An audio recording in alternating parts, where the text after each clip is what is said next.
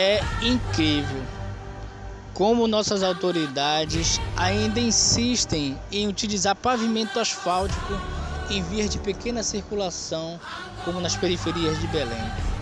No entanto, a gente sabe que o asfalto ele é mais bonito, favorece a circulação do carro. No entanto, ele prejudica climaticamente a nossa cidade. A cidade fica mais quente, as águas da chuva não conseguem percolar.